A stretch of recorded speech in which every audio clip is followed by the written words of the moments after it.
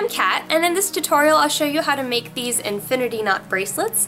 What I love about these is that they're so customizable. As long as you have a cord or a lace, it doesn't really matter how big it is, what color it is, what texture it is, it'll work for this project. There are also several different ways that you can clasp these off to finish your work, and I'll show you just a few of those methods.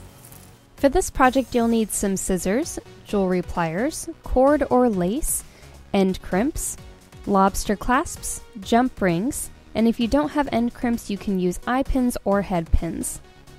To start, you'll want to measure your lace to fit two times around your wrist and then subtract one inch. Then cut four pieces of your lace or cord to that measurement. Start by taking a piece of lace, make a U shape with it, and then cross the tails over. Hold those down with your ring and middle finger. Take a second piece of lace, put it under the round shape you've made, hold one end down with your index finger, and grab the other end. Then you'll want to put that end underneath the bottom tail of your first piece. Now it gets a little complicated. You're going to weave over, then under, and then over again. Make sure that you do this step correctly.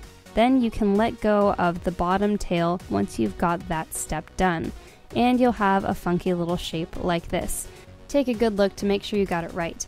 Then you'll want to add in your additional laces. You can add two or three, maybe even four. Basically just repeat all the steps by following where your original laces went until you've doubled or tripled your laces. Once you're satisfied with how many laces you have, grab all of the tails and pull everything tight.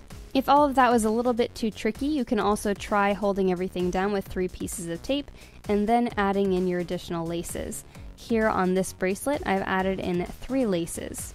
Once you're satisfied with however many laces you've added in, you can push and pull on the various ends of strings to make sure all the legs are roughly the same length.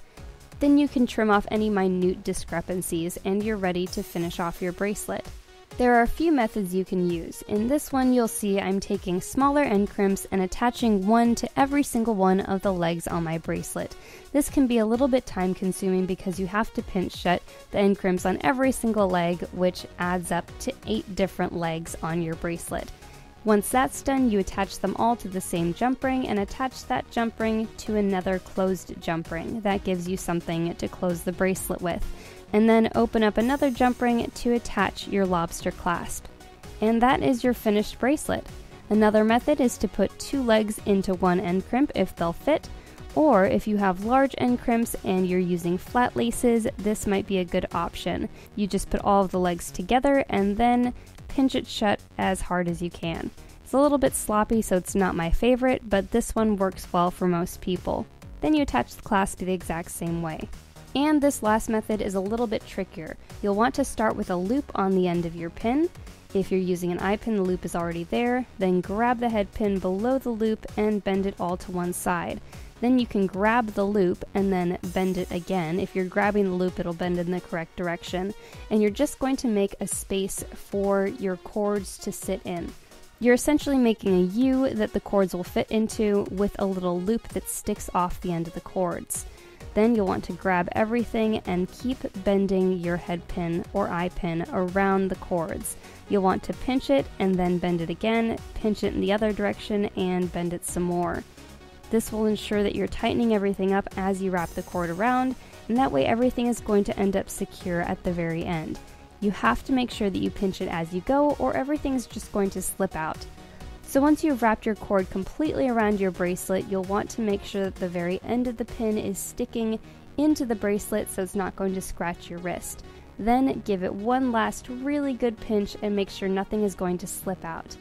And finish that off with your jump rings and your lobster clasp the exact same way you did with your other types of end crimps. And these are the finished products. Thanks for watching. If you enjoyed this video, remember to like, share, and subscribe.